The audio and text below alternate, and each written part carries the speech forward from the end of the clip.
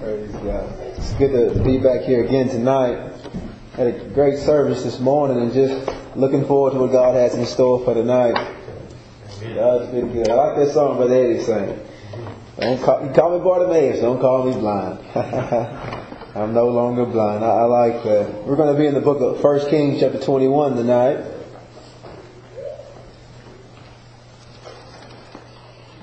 First Kings chapter 21.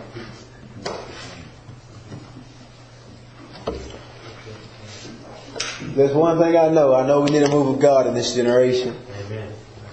You know, we have a generation that has never seen the power of Christ. You know, my generation and under have never seen the reality of God. And it breaks my heart just to know that, you know, we need to make Christ real in this generation. I have a niece that's five and a little nephew that's 11 years old. And, and I just think every day, God, what if I die and don't bring them a reality? What if I die and don't show them who you are for, for, for a reality? Not just going to church, not just going through the motion, not some little feeling, some little dance, but a reality of the power of God. The, the same power of God that set me free. You know, I grew up in church all my life. I went to Victor Temple, the church Brother Clinton founded. 19 years I went through the same routine. I knew how to pray. I knew when to say amen. I, I cried. I went to the altar. I did it all. I never gave my heart to Jesus. When I went to college, I got off in a bad way. I started doing things that I'd never done in my life, and it kind of scared me. Just, you know, never been into the, the depths of sin that I got to in college. And I went back home. I graduated in 2006, went to college that fall. I went back home. I, I didn't go back to college.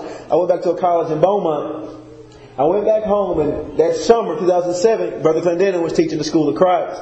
And it started that Sunday morning. He was going to start that School of Christ. Now, I love Brother Clendenin to death, but I hated him then. He was an old man. I'm 19. I didn't want to hear him talk. Man. He, he's talking for hours, seemed like to me. Like, man, I didn't like him at all. I was, I was going to skip the service. I was like, no, I'm going to go. I'm going to just go hear what he has to say. And I couldn't tell you what he preached from. I couldn't tell you one word he said. But the man made Christ real to me. He, he, he gave Christ, they gave me a reality of who Christ was.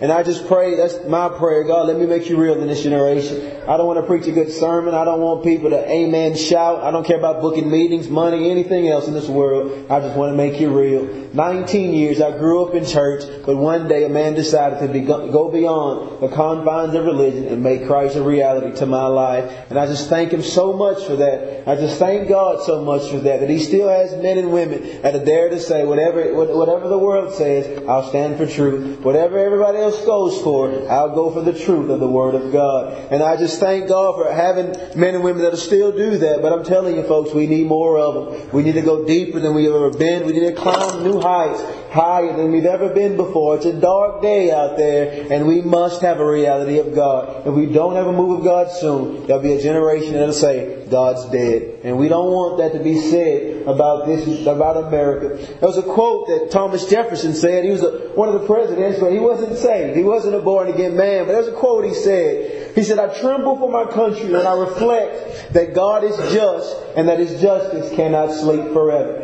He said, I tremble when I think of my country. I know that God is a just God and His justice will not sleep forever. Since then, we've gone to, to deeper and darker sins in His day, but He said He trembled. I ask you, how many of us tremble when we think about the, the sin of this world? Do I tremble when I see the state of America? When I see the state of these countries I've been to? Do I tremble at the state of them? God's just and His justice will not sleep forever. I think about that, folks. It just, that stirs my soul every time I think about it. God, where, where is my priorities? Where is my mindset? Where is my heart? I don't have the heart of Christ like I should have it. Why don't I? It's because I don't want the heart of Christ like I want to. As a man by the name of William Law, he's a great writer. He wrote in the 1600s.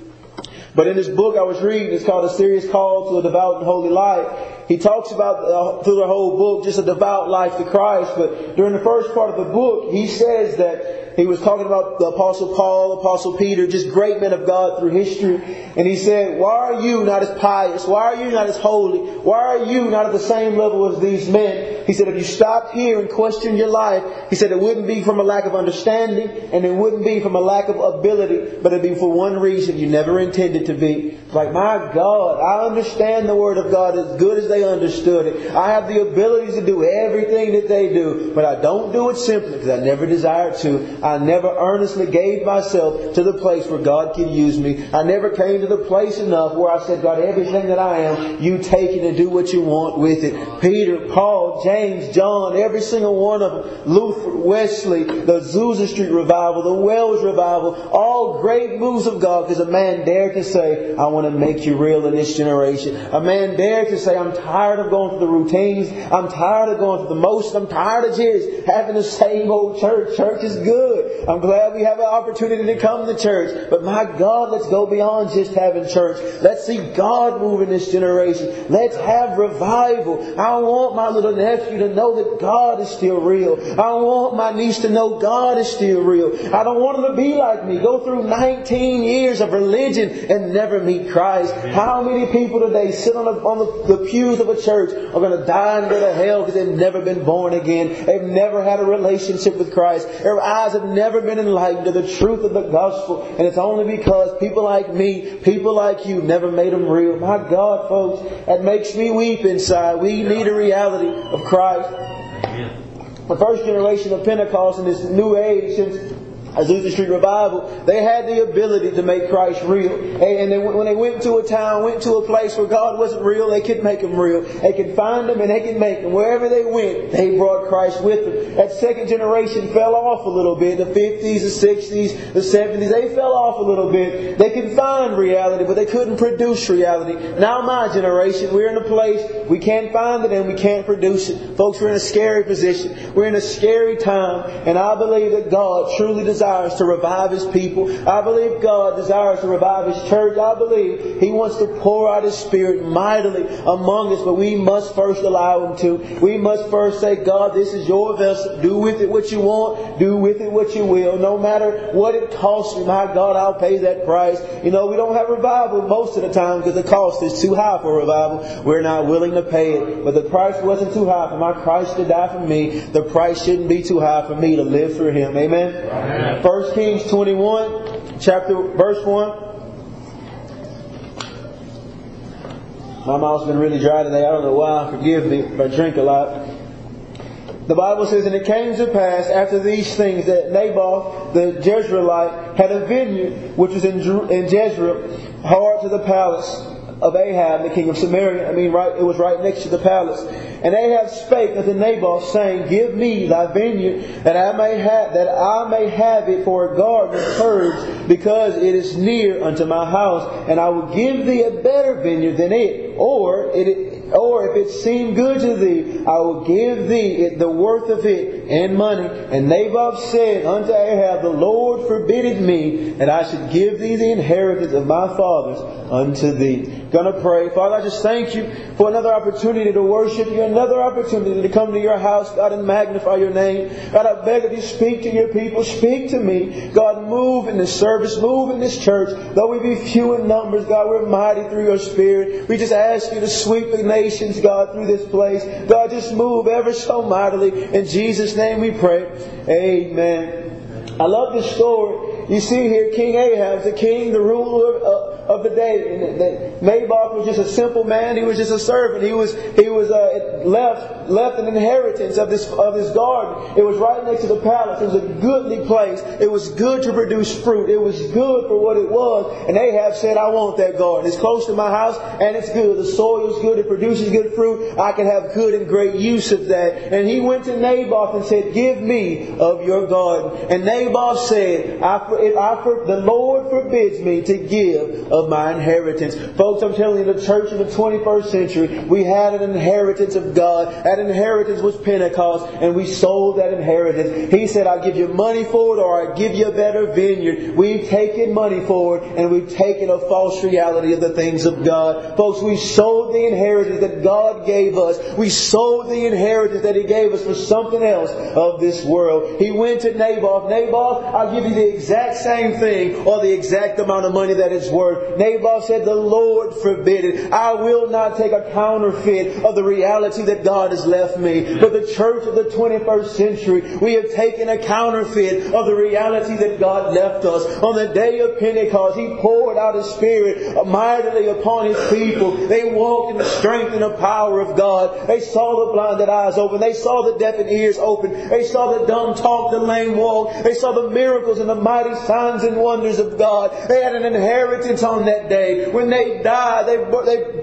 gave this inheritance to each and every one of us. But Ahab came to us, and one night he knocked on our doors and he said, Give me of your garden. I want of that garden. He said, I'll give you a garden just like it. I'll give you a taught tongue. I'll give you a taught dance. I'll give you a taught shout. I'll give you a same emotion. I'll make you run around this building. Folks, we sold the inheritance that God, that God gave us on the day of Pentecost for a cheap counterfeit. And you see where it's brought us at today. We're in the darkest generation that the world has ever seen. All because the church of the Lord Jesus Christ did not stand for truth. They did not say, the Lord forbid me to give it, but they gave up, they gave up the inheritance that God gave them. We've given away the inheritance that God has given us, folks, and we must wake up to the realization we've bought in a cheap counterfeit. We sing the same, we shout the same, but the power thereof is not behind it. We come, sick people come through our church and they leave sick. The dying come and they leave in a graveyard. We don't have the power of Pentecost that they had back then. We don't have a reality of God like they had back then. We fill the pews up with young people. We get them playing games, give them ice cream and cookies, but they never experience the reality of being born again. They never come to the place where their lives are totally transformed by the power of God. They say amen. They read the right scriptures. They know how to act in front of mom and daddy. They know how to pray and, and make up a few tears, but the reality of being birthed of God is no longer in them. The devil knocked on our door, folks, and he said, I have the same thing at a cheaper cost. I have the same thing, but it's a little easier to get to. You have to walk all the way up to my palace, but you don't have to anymore. You can just walk outside your door and get it. Folks, God we bought a cheap counterfeit of the reality of God, and it's left us in a bad state. It's left us in a bad way. It's left the church naked and powerless. It's left us destitute. We've left us in a place that God never intended for us to be. That first generation could make God real. That second generation could find it. But this generation has no reality of God whatsoever. We leave the churches on a Sunday or a Wednesday. We go down the streets and nobody thinks anything different of us. My God, folks, what happened to the church of the Lord Jesus Christ? What happened to her? The Bible says that we're more than overcomers through Christ. The Bible says He maketh her to triumph in all things through Christ. But now all I see is a weak church, barely making it from Sunday to Sunday. We come crawling one Sunday, we leave out running. By Wednesday, we're crawling again. There's no strength in it. There's no vitality. There's no vigor in it. When God birthed that church on Pentecost, it was birthed young, birthed in strength, birthed in power. Now we're weak, we're maimed, we have no ability within us to do what God has called us to do, all because we bought a cheap counterfeit. We settled for that which was easy to get to. It was more easily accessible to Nabal to have that other field. But he said, The Lord forbid me to sell it. The Lord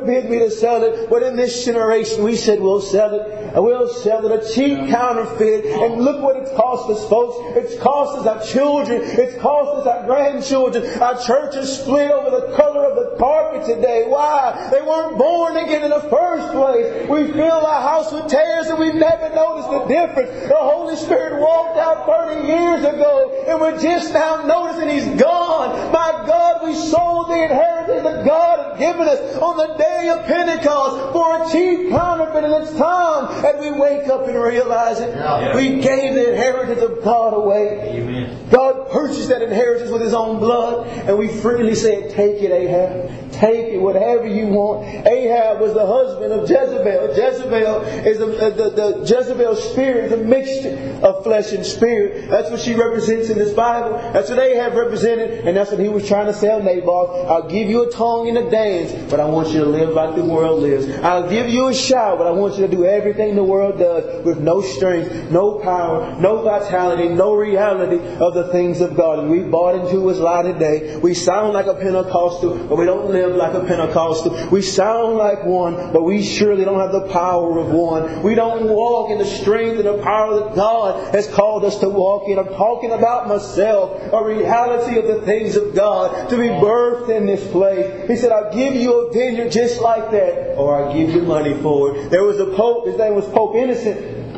And a man walked into his office. He was counting a, a large sum of money. This was in uh, 11, 14 or something. He, he gave him. A, he was walked in his office. He was counting a large sum of money. He said, "See, young man, the church can no longer say that we have silver and gold, have I not?" And the young man replied, "Neither can she say, rise up and walk." You see, folks, we traded silver and gold for the strength and the power of the Holy Ghost. We traded money and big buildings. We traded fancy cars and nice clothes. We traded all these things for the reality of the strength and the power of God. We've given up everything that Christ died for. We've sold the inheritance of our forefathers that changed the world. The Bible says that 120 men woke up in an upper room and when they went out into the world, the world said they turned it upside down. Or these the men that have turned this nation upside down. But what do they say about us? There's a church on every corner preaching every Sunday and Wednesday, but nobody sees the reality of God. We've sold the inheritance, folks. We've bought a cheap counterfeit. We've sold it for silver and gold, and it's left us naked and destitute in the 21st century. It breaks and grieves my heart. I've been to other countries of this world, missionaries on every corner, churches on every corner, but they've never seen the reality of the gospel. Folks, we must return to Christ and Christ alone. We must return to the reality of the Spirit of God. We must once more say, devil, you'll not take my inheritance. The Lord forbid me. You can bribe me with everything you want. You can try to give me with everything you want, but I will not sell my inheritance. Naboth, the very name of it meant fruit. By God is life. For the fruit of Christ, there are lives the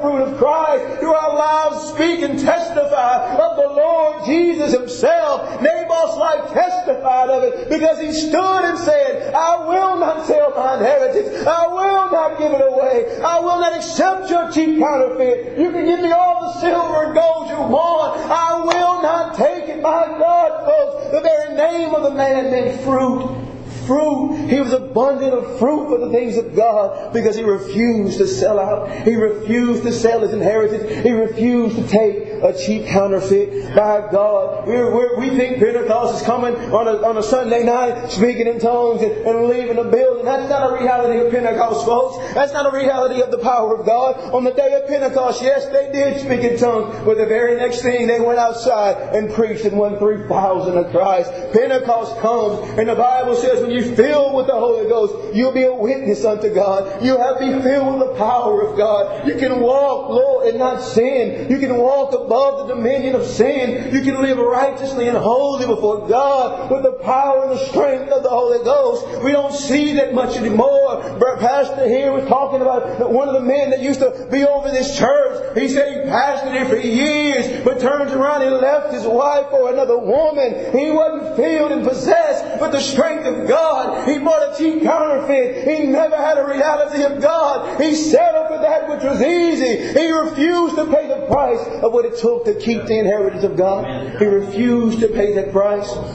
He sold out to that Jezebel system, that system of a mixture of flesh and spirit, that mixture that the Bible says God hates. He said, I'd rather you be hot or cold than lukewarm, and lukewarm and a Jezebel spirit. I'd rather you be cold, ice cold, know nothing, I hate the name of God than to be lukewarm. He said He'll spew you out of your out of His mouth. And we've become that in this generation. We've become a lukewarm Christianity, which God despises and which the world mocks at. And Goliath stands at our door and mocks us continually like he did Israel. There needs to be a David that rises up and say, this Philistine will no longer mock the name of my God. Amen. This man, this ungodly man, will no longer mock the name of this King of Kings. My God, folks, it breaks my heart. Seven billion people live on this earth, and I wonder how many truly have ever met the Lord Jesus Christ. I told you earlier that two billion people have never heard the name of Christ, and it's all because we sold out for a cheap inheritance. We sold our inheritance for a cheap counterfeit. We've given everything of the reality of God away. My God, folks, America, since Roe versus Wade have aborted over 50 million babies. But worldwide, every year we abort 50 million babies because there is no church to shine a light of Christ. There is no Holy Spirit to resist and restrain the evil that's found in this day. There have been 17,000 people that's died in Syria on these recent conflicts uh, between the, the, uh, the civil war in that country because nobody dared to shine the light of Christ. My God, folks, does it make you weep that one out of ten in this country is a homosexual? One out of every four young girls that you pass by on the street have been molested by the age of 12 because there's no Spirit of God to refrain them, to resist them, no Spirit of God to keep back that evil of the day. It's all because we sold our inheritance. It's all because nobody stood like Naboth and said, You will not have my inheritance. I will walk in the strength and the power of God no matter what what it cost me. If I read down a little bit further, you'll figure out that it cost Naboth his life for that. And that's what it's going to cost you and I to, to have this inheritance of God. We might not be martyred. We might not end up dead for it. But folks, it'll cost us everything on that altar to experience the power of Pentecost once more. We must truly come and lay everything of our lives on the altar. We, we, we, it's become cliche to sing the song, I surrender all. That song must be more than words from our lips, but it must be a reality in our lives. The book of Acts must not be a, a good book to study and do Sunday schools on, but it must come a reality of God. Duke Down said in his last camp meeting, let's stop talking about the book of Acts and let's experience it once more. If somebody get a hold of the horns of the altar and say, God, I won't let go till you move in my life. I won't let go till you fill me once more like they had on that day. I won't let go of you, God, till you become a reality in my heart, a reality in my soul. I won't let go I make you real in this generation once more. Yeah. Folks, we need a reality of God. We desperately need Christ to move in this last generation. Amen. Song of Solomon 4, verse 16, the Bible says, let me get a drink real quick. It says, O north wind, awake, O north wind, and come, thou south, blow upon my garden, that these spices thereof may flow out. Let my beloved come into his garden and eat his pleasant fruit. You see, this is the Shulamite woman speaking to King Solomon. She was asking him to blow upon her and make her fruitful. It was the, it's the same cry of the church of God to breathe upon her once more so she can bear the fruit of his son Jesus Christ through their lives. Zechariah 4 6 says, Not by might, nor by power, but by the Spirit of God, saith the Lord. And we knew that the, the Shulamite woman knew that in my own strength and my own ability, I'm nothing but an old maid girl. I can't do anything on my own. But Solomon, you're the king of all kings in that time, in that generation. Blow upon me. We must come to Christ with the same desperation, with the same mindset and same attitude. God, I'm nothing, but if you breathe upon me, I can do great things. If you breathe upon me once more, awake, O north wind, breathe upon my life. She was begging him, awake and breathe on me. She wasn't saying if you want to. She desperately went and shook him, wake up, breathe on me. I want to produce the fruits of God. I want to live a life of Christ. I want a reality in this generation. Wake up, O Spirit of God. Breathe on me. It's time that the church gets back to this, and gets back to the reality. We need the wind of God to blow in this place. We need the wind of God to blow in our lives. The word blow in the Hebrew is puat. It means the breath, to breathe or to exhale. Genesis 2 7, the Bible says, the Lord God formed man in the dust of the ground. He breathed into his nostrils the breath of life, and the man became a living soul. He got down in that dirt. He made man with his finger. He formed him. He shaped him. He put the spleen where it was supposed to be. He put the heart where it's supposed to be. He had everything in its proper place, but without the breath of God, it was just a corpse lying there. My God, folks, we need the wind of God to blow in the church once more. We need the anointing of the Holy Ghost living in and through our lives once more. The Bible says that Ezekiel saw those bones come together, bone to his bone, every one in its proper place. But he didn't get excited there. He said, God, that army won't beat anybody until you breathe life in it, until you bring a reality to it. God breathed and it became real. It became a fighting force that the world has never seen. Adam was there formed in the ground and he breathed the breath of God on him. Wind of God, breathe on me. Wind of God, blow on Red Lick Baptist. Breathe on your church today. Breathe in once more. I need you, God. I need your strength. I need your power. I need your vitality. I need you, Jesus, to breathe on my life. I'm tired of preaching sermons. I beg God, don't let me preach another message without the reality of Christ in my life. Don't let me witness to another soul without the reality of Christ in my life. Oh, north wind, blow upon me, my God. Blow upon me. Let the wind of God blow in this place. Let the wind of God blow in this house. Let Christ blow upon his garden. Blow upon his people. Proverbs 25, 23 says, Hallelujah. The north wind bring forth rain, and so does the backbiting tongue bring forth an angry countenance. Job 37, 17. How thy garments are worn when he, when he quieteth the earth by the south wind. Psalms 53 says, O God shall, O our God shall come and shall not keep silence, and fire shall devour before him, and it shall be a very tempest round about him. You see, that north wind was a reprover. It brings that rain. When that rain comes, it clears the air, it clears the sky. Dust particles are everywhere. But if you ride by after a, a fresh rain, it just dries. You see the clarity, the crispness of the air. All the things that were hid behind the smog are revealed now. Those clouds and that dust that hid that mountain when that rain falls and goes away. I can see the clarity and the height and the depth of that mountain and that valley. Everything is revealed within. The reprover it came. It exposed everything in our lives for what it is. It brings the conviction of God upon our life. That's the point of the north wind. That's what that Shulamite girl said. I'm not strong enough. I have faults, I have failures, but my God breathe upon me. Let that north wind come upon my life. Why? Show me who I am. Show me what I am. My God, show me the wretched state that I am in. Reveal the life of sin within me. Reveal the of my life that I refuse to give you. Reveal that in my life which I cling to this world and not to the cross. Everything in my life that's against thee and not of thee. Show it to me. Breathe, north wind. Breathe in this house. Breathe upon my life. Everything that hinders and keeps me from going on with God. Reveal today. God will never reveal or show you something. Come against you of your sin in your life if He's not willing to take it out. The Shulamite woman knew that. He was saying, Solomon, breathe on me. Show me my failures. Show me my faults. Because she knew Solomon would pick her up at the end of it. If we be honest with God today, show me my faults. Show me my failures. Let the north wind expose his heart for what it is. She knew the south wind was soon behind. She knew the south wind was coming up very quickly behind.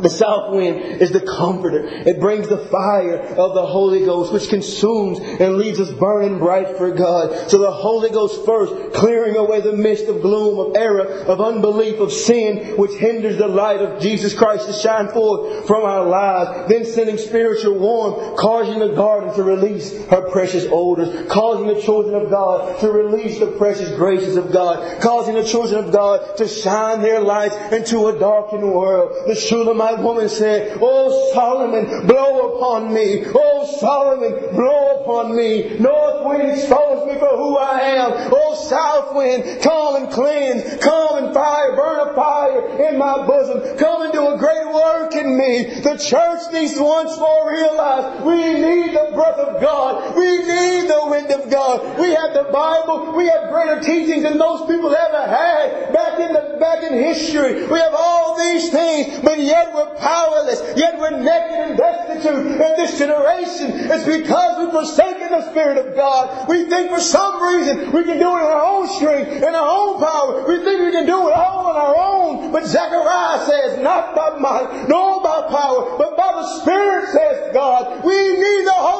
Ghost once more. By God, more than a little tongue, but a reality of who He is. North wind breathe on me. South wind, come and blow. Come and set my soul ablaze for you. You go to most churches, when they say God come down, all they did was shout. All they did was jump. All they did was run around. But when God meets His people with a fresh north wind of God, He brings first repentance and then He consumes everything of your life with the fire of the Holy Ghost. Then comes the shout. Then comes the joy. Then comes the life and the reality of God. Oh, north wind, breathe upon me. South wind, come and breathe upon me. So my God can release its precious odors toward you. My God, breathe upon me. Yes.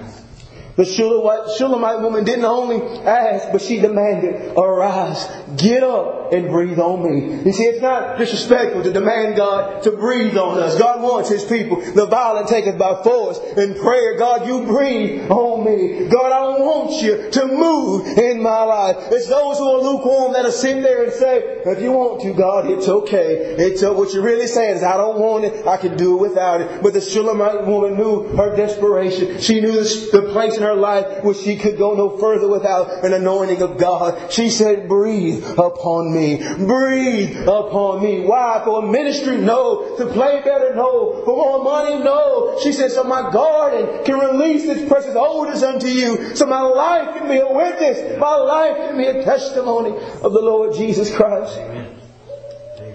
Amen. Ephesians 1 13 says, in whom ye also trusted after that ye heard the word of truth, the gospel of your salvation, in whom also after that ye believed ye were sealed with that Holy Spirit of promise, which is the earnest of our inheritance into the redemption of the purchased possession, into the praise and the glory of God. It's the earnest of our inheritance, folks. The earnest of our inheritance, but yet we've lost that inheritance because we bought a cheap imitation. We've lost the earnestness of our inheritance because we took on a little little silver and gold. We can say silver and gold we have, but we can't tell that man at the gate beautiful rise up and walk. We can't tell those sick people that left this morning, you pray for you, you be healed. We've lost the power of God. We've lost the anointing of God. We've lost the ability when we preach the gospel to put men under conviction of Christ and come back to God once more. We've sold our inheritance, folks. The Bible says the Holy Spirit is the earnest of the Christian's inheritance. And we must come back to that today. Oh, oh, we need the Spirit of God to breathe upon us. Breathe upon us. Breathe in this church once more, once again.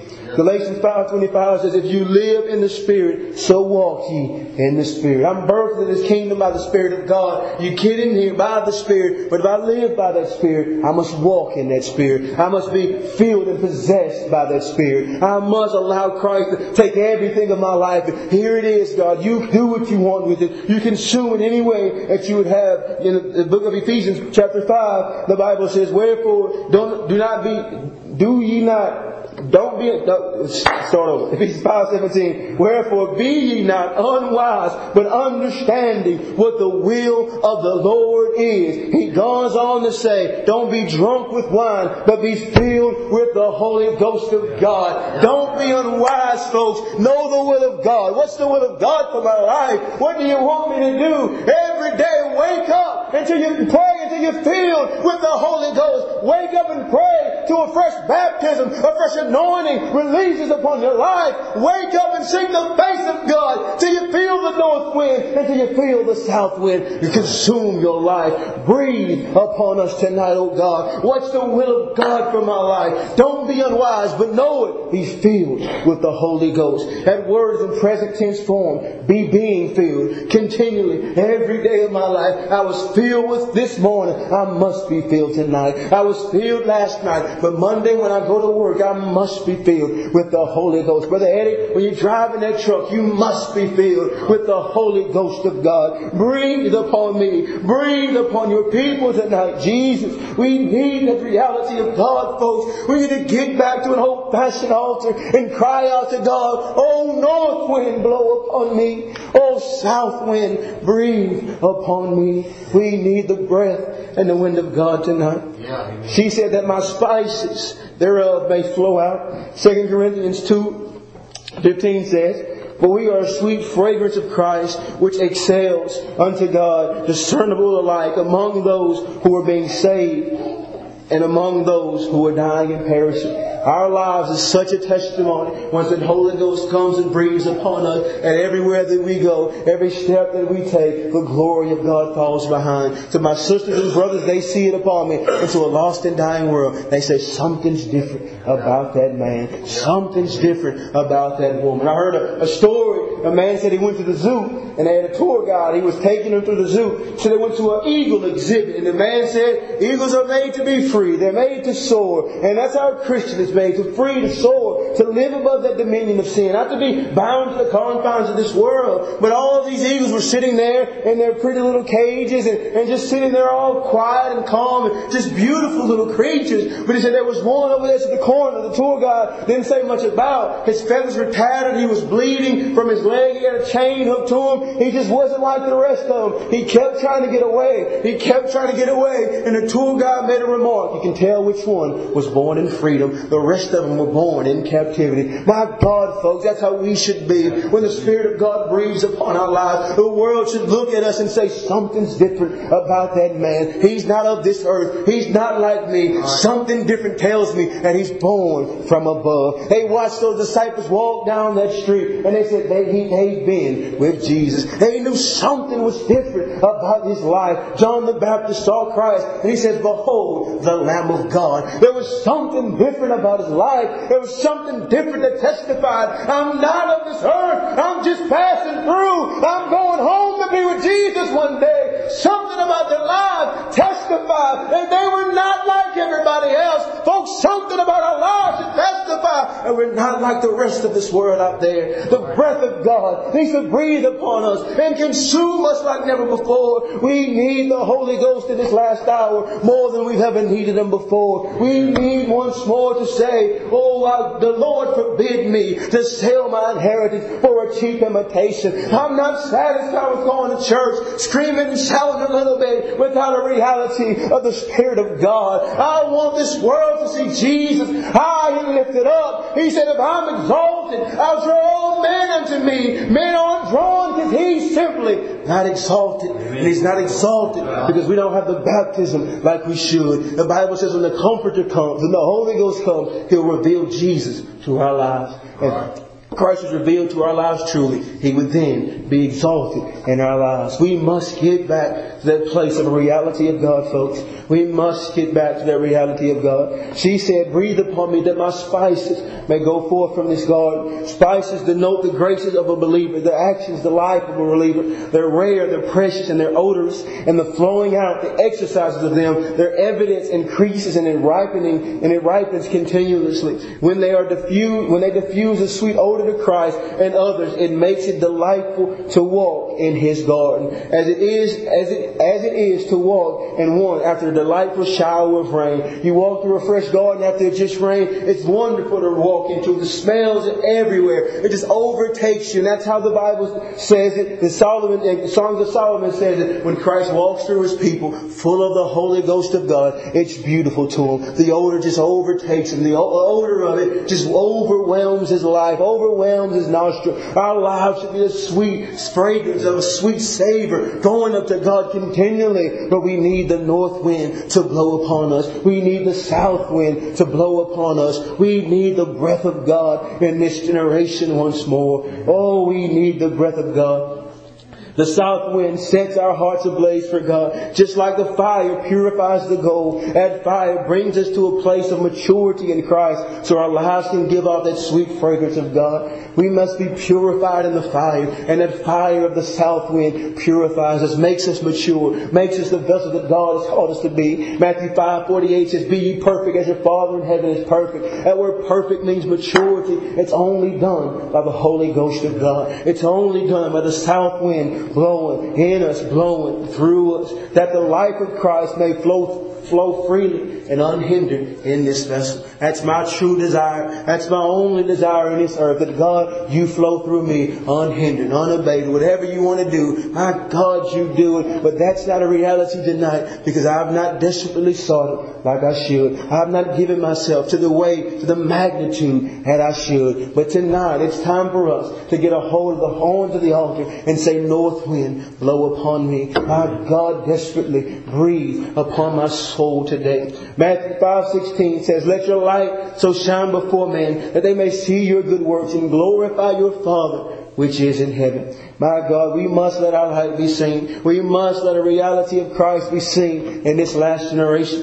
1 Corinthians 6.20 says, For ye are bought with a price, therefore glorify your God, and glorify God in your bodies and in your spirit, which are God's. Everything of my life I owe to Christ. Everything of my soul belongs to Him. He bought me, folks, with a price. It's no longer mine. I must allow the Spirit of God to freely flow in me and freely flow through me. Philippians 2, 13 says, For it is God which worketh in you both to, to will and to do His good pleasure. It's His good pleasure that He's doing in our lives. He's taking that fragrance, that scent, and is bringing glory to His name. The Bible says, I forget where it's at, one of the Gospels, but it says that Christ is glorified or Christ is honored when His children bear much fruit. It brings God honor and glory when my life produces fruit. It brings God's glory and honor when your life produces much fruit. But I ask you a question, why don't our lives produce much fruit? Why don't our lives produce the same fruit that we saw in Azusa Street? Why don't our lives produce the same fruit that we saw in the Welsh revival. Why does our lives produce such little fruit? Because we're not giving ourselves to the capacity they gave themselves. We're not begging God every night to make us like Him. We're not begging God every day for the north wind to blow upon us. We're not begging God for the Spirit like they did. My God, folks.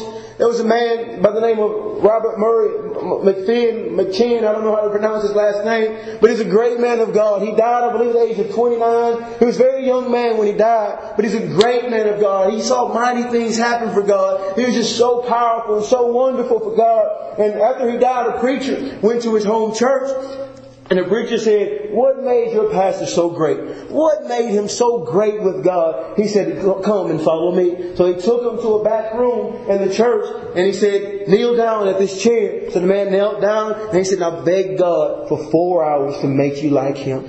Beg God to make you holy.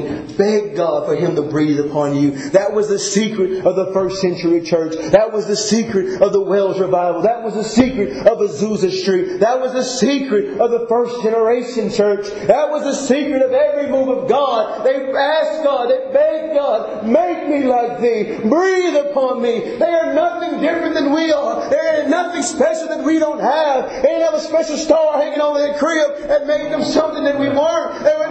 Normal men, normal women, but they said, God, I'm tired of the status quo of religion. I want a reality once more. I'm tired of a scream, a shout. I'm tired of a cheap and imitation of the real. I want to see you. Breathe on me. Oh, north wind blow. South wind, come and consume my life. Everything that I am, give me a reality of the Spirit of God once more. God's desire is to breathe upon His people. God's desire is to breathe upon His people.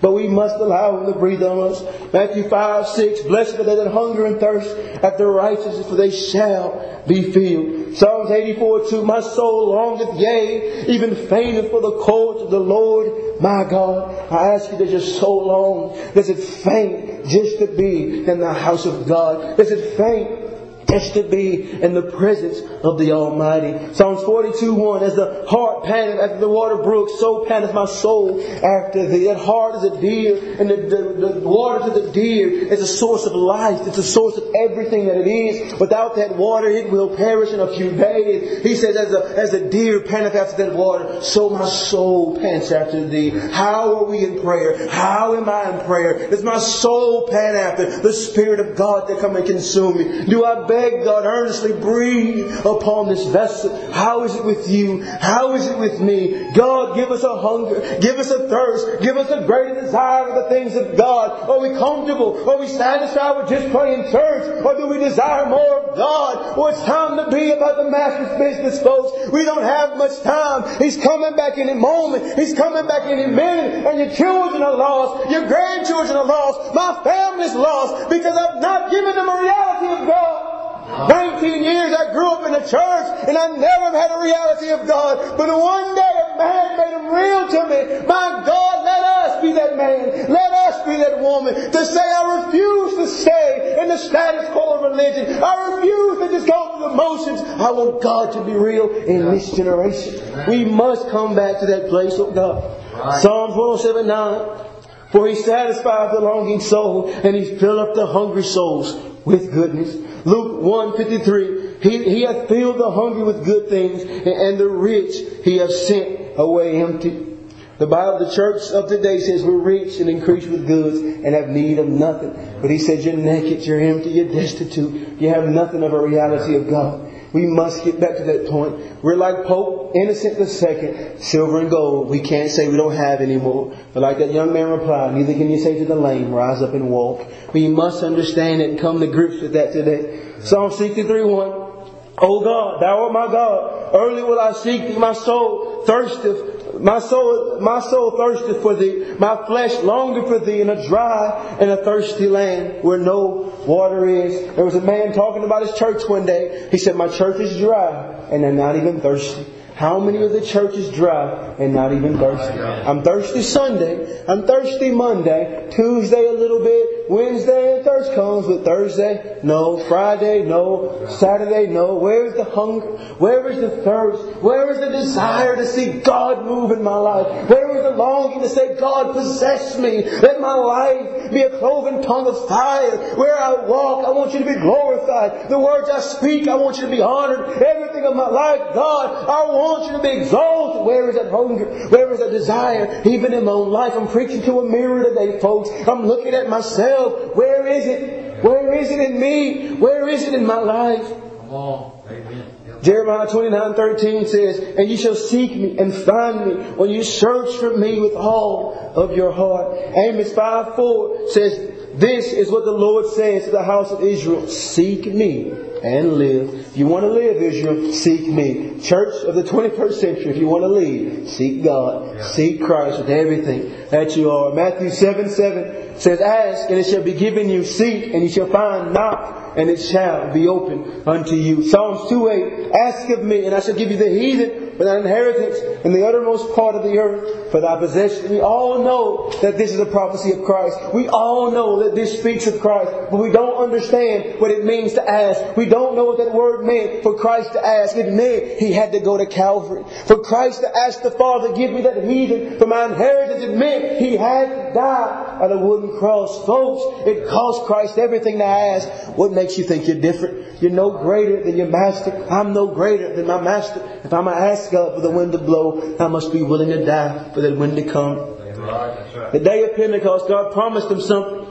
They didn't fully understand what it was, but they went to an upper room hungry to receive whatever God had for them. I don't know what it cost them. I don't know where to bring me. I don't know the, the, the jungles that it might take me to. I don't know the, the alleyways it might bring me to. But I am willing to say, God, whatever it takes, wherever it costs, wherever you bring me, I want to go. I want to do thy will. I want to be a, a, a tool, a servant in the hand of my master. Yeah. There's only one solution to the problem that's of this generation. We need a wind of God to blow upon us. There's only one solution to the sin problem out there in our streets. There's only one solution to the problem out there. It's a wind of God to breathe upon us. The breath of God to breathe upon His people. I was reading a statistic the other day, and it said there are 27 million slaves on this earth today. That's more slaves than any one time in history. We have more slaves today than there ever were in history at any one time and a million of them live in America today. Most of them are prostitutes. Cities next to you, large cities in America. I know Houston's one of them. It says it's a hub for uh, human trafficking. We don't know anything about it because we don't know the true heart of God. We've not sit at His feet. We've not let Him reveal these things to us. We've not come to the place where we say, God, let me be your vessel. Let me be the one who intercedes for these lives. A million slaves walk the streets where you walk. A million of them. My God, that breaks my heart, folks. A million of them. This statistic was from the CIA and the U.S. State Department. The U.S. State Department says every year 17,000 new slaves come to America. Every single year. My God, folks. Do you see the sin of this world? Do you see the wickedness of this last day? We need a move of God. We need something to happen. And the only thing that's going to change it is a wind of God. The only thing that's going to change it is the north wind to blow upon my life. The north wind to blow upon your life. The sin abounds. The Bible says where sin abounds, the grace of God does much more abound. I'm excited today. I hear about the sin. It breaks my heart to see the wickedness. It breaks my heart to see all these things, but I know God is true to His Word. If the sin abounds, the grace of God does much more abound. If I allow God to let me be the vessel that He's called me to be, we can see revival. A lot of preachers preach uh, gloom and doom, but I believe God will pour out His Spirit one more time. The Bible says the latter will be greater than the former. He'll not come back for anything less than He started with. He started with a mighty move of God. He'll finish with a mighty move of God. It might not sweep the billions into the kingdom of God, but we will see the glory of God manifested in a reality once more in this generation. But the only question is, will you be a part of it?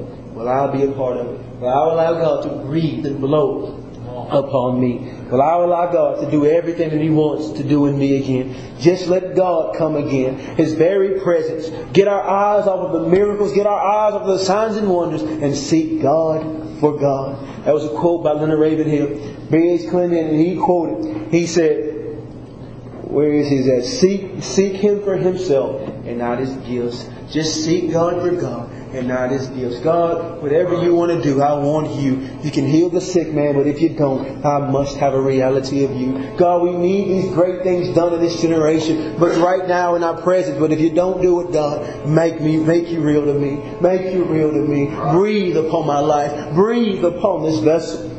David Wilkerson said, There's so many people wanting the provisions of God without the presence of God. That's the mark of this church. We are unfaithful to God. And the second mark, we want the provisions of God without the presence of God. God, heal my sick arm of cancer, but God, don't come any closer to me. I want to live in the miracles of God, but I don't want to climb Mount Sinai. You see, the children of Israel, when they were brought out of Egypt, they said they were going to Canaan. But Moses said, I brought you out of Egypt to bring me to Sinai. I brought you out of Egypt to worship me in the desert desert. I brought you out of Egypt not for Canaan, not for the promised land, not for heaven, but to worship Him, to meet with Him. And they went to Sinai. Uh, God had an appointment for them. They had to set up a meeting for them. Where the Bible says they stood afar off at their tent and said, Moses, you go in, but we won't go in. We don't want to go into the presence of God. We don't want to know God in a greater and a deeper way. Why? They were comfortable in their sin. They were comfortable where they're at. They didn't want the Holy Ghost to expose the sinfulness of their lives for what it was. But we must come to the point, God, no matter how gruesome it may look, no matter how much it may break me, I know you're only breaking me to heal me. I know you're only breaking me to fill me. Clint Hayden said he went to a church that was so dry. He said he hacked, he hacked, he hacked. But he had to hack before he could pour in the oil. My God, he has to hack the hard heart. He has to break us of who we are before he can pour in the oil of the Holy Ghost. Let the north wind blow. Let the south wind blow. Let God breathe upon his people once more.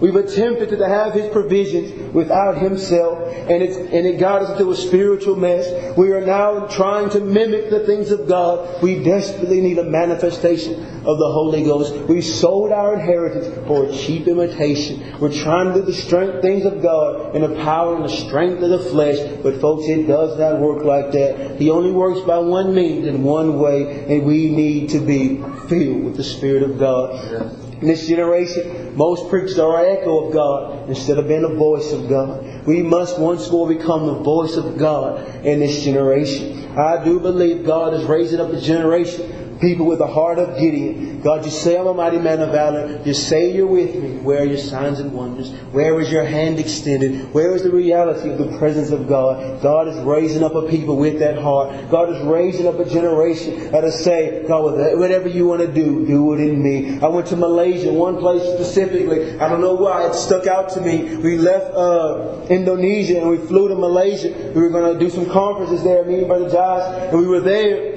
about to preach. We got to the hotel at 10 o'clock that night. It was a modernized city where we were staying at. And when we went there, there were young people everywhere. I saw them tattoos, drinking, smoking, everything of sin. It was 10 o'clock at night. I looked across the, across from the hotel. There was a church. Looked down the street. There was a church. We drove down the street a ways there. Churches everywhere. Pentecostal churches, Baptist churches, Methodist churches, churches everywhere. But the streets are filled and flooded with people, lost people, desiring something of a reality. They went to the house of God, they knocked on the door, and they didn't find anything of any sustenance. So they went to the world, filled themselves with tattoos, filled themselves with drugs and alcohol, trying to satisfy hunger, trying to satisfy something in their lives. And I believe God wants to fill that generation. I believe God wants to touch that generation. I believe God wants to let them know you can have a reality. You can experience Him in a greater way. But it's only going to be by people. If God's ever moved in this earth, it's been through a vessel. And He's going to move today. He needs a vessel. Will you be the vessel? Will I be the vessel? Here's the burden of my heart. God has placed it upon me. Chris, be the vessel of God. Don't be an echo anymore,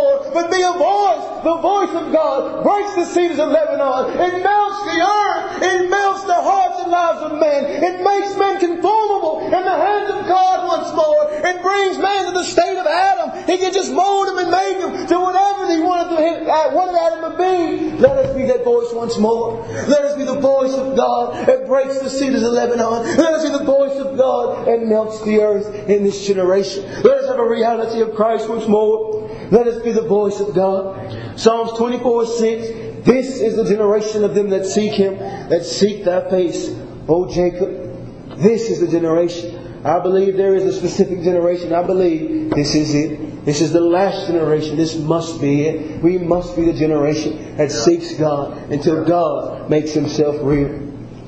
A quote that says, You must be the change you wish to see in the world. If I want to see Pentecost in the world, if I want to see a revival take place in the world, the revival must start in me.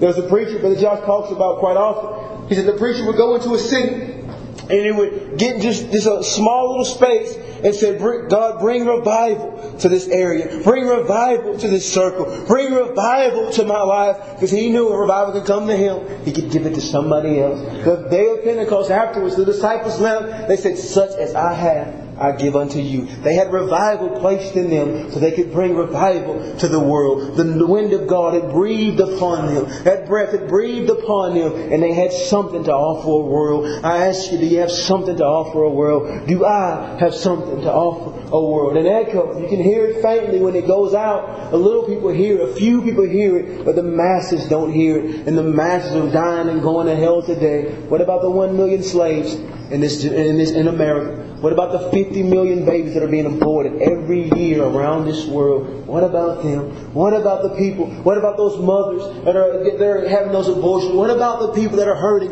What about the 2 billion that have never heard the gospel before? In Malaysia, it's built up of 12 states. Me and Brother Josh went to two of those states because only two were open to the gospel. Ten are closed to the gospel forever. There's two that are open. And when we were there, they were trying to close those two. The government only allowed a, a specific amount of people to have Bibles. They printed the Bibles. They, they, they handled all of those things. They're trying to shut out Christ. If we don't bring a reality soon, my God, what are we going to do? What are we going to do? North Korea will not allow any gospel to be preached. Will one of us pray, bring down the stronghold of North Korea so a man like Josh can get in, so a man like one of you can get in. Somebody do the will of God. Will somebody say, God, breathe upon me. Whatever it costs, whatever it takes, God, break this old stinking flesh. Whatever you want to do with it, do it. Just breathe on my life. To send the wind of God upon me. Let God be seen in this generation. Let God be made real once more. Give us a reality of Christ. That's what we need, folks, desperately. I beg of you to hear my heart. I beg of you to hear. There's a song, I, I just love the song so much. The songs, I'm, gonna repeat, I'm not going to sing it, I'm going to just tell you the words to it. The song says, I'm tired of the same old thing. I'm tired of the traditions were in your name. I'm tired of man-made worship hour. I'm tired of a song with no praise where worshiping you seems out of place. I'm tired of a religious formality. I'm tired. Folks, is at your heart today. I'm tired of coming to church singing worship songs that don't worship God. They worship the man playing the guitar or the person singing. We worship worship more than we worship God. I'm tired of all the same old routine. I'm tired tired not experiencing Christ. Every time we walk in the doors, the Bible says when Christ hung on the cross, He said, It is finished. The Bible says the veil rent from the top to the bottom, and the Spirit of God was relinquished upon the whole entire earth. It was no longer bound to just a room, no longer bound to just a tabernacle, but everybody, every man, boy, woman, and girl could experience the manifest presence of God at any moment in time. But yet, how often do we live outside of the presence of God. Every day we can enter into the holiness of holies, but how many days do I refuse to enter into it? How many times have God, has God woken me up three in the morning? I looked at the clock, God, it's too early. I'm not praying. How many times have I refused the breath and wind of God? How many times have you refused God moving and dealing with your life? My God, folks, we bought a cheap imitation. We sold our inheritance and it's left us naked. It's left us destitute. We must have a revival. We must have an outpouring of the Spirit of God once more. My cry is, wind of God, breathe upon me. Oh, south wind, blow upon my life. Breathe on me in this place. We need the wind of God, church. We need the wind of God. Find a place to pray.